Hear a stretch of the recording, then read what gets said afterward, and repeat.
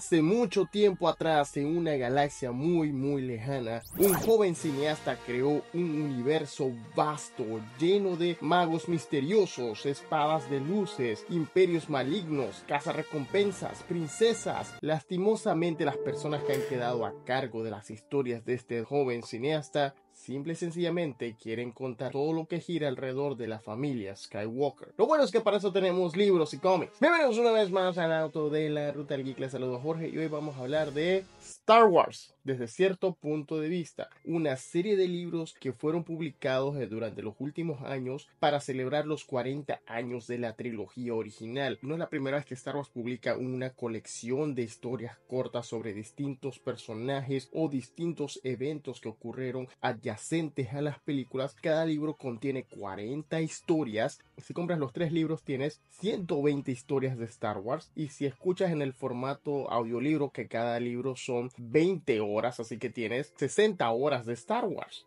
¿Lo han entendido todos? La otra cosa fue la colección de escritores que se consiguieron. Escritores de la talla de Jason Fry, Gary Wita, incluso Ashley Eckstein. En el formato del audiolibro también tienes talento involucrado como Adam Scott, Will Wheaton. Sí, Will Wheaton de Star Trek lee una de las historias. Shut up, Wesley. Y realmente es un vistazo a distintos eventos que como el título lo indica desde cierto punto de vista, ciertos personajes o ciertos eventos que a lo mejor si hubiésemos pasado más tiempo con ellos, los comprenderíamos de una mejor manera. Por ejemplo, en el primer libro nos revelan que la criatura del basurero del imperio realmente era una entidad que era sensible a la fuerza y que la razón por la que secuestró a Luke es porque sabía que Luke Skywalker también estaba de alguna manera sintiendo la fuerza y esta criatura quería tener un último contacto con alguien que conociese su poder porque esta criatura sabía que ese mismo día iba a explotar su hogar, la estrella de la muerte. ¿Qué tal si la banda de la cantina era su debut en Tatooine? El lado del Imperio contraataca es súper mejor llevado ya que muchas de estas historias nos presentan lo que sentían tanto los soldados de la Alianza Rebelde al estar trabajando y conviviendo con las leyendas vivientes que eran Luke, Han y Leia. Al mismo tiempo tenemos soldados imperiales que simple y sencillamente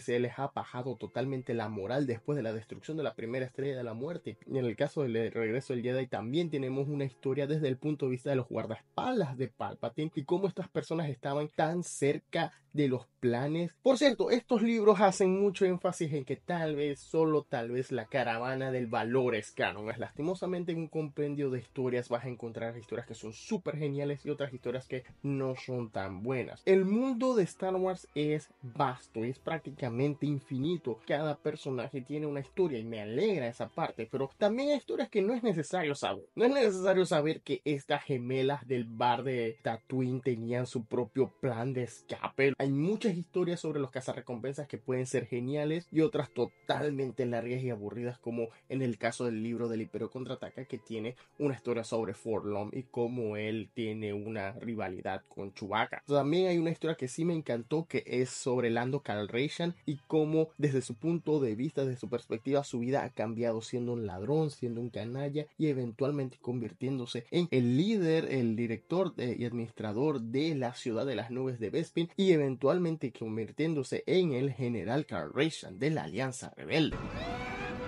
La historia final siempre se llama Los Wheels. Básicamente es un meta comentario sobre la realización de estos libros o las fallas que hay en las tramas de Star Wars. Totalmente recomendado estos libros, no se los pueden perder tanto en su formato físico o como su formato en audiolibro. Gracias por acompañarnos en este video de la Ruta Geek. Nos vemos la próxima y que la fuerza los acompañe.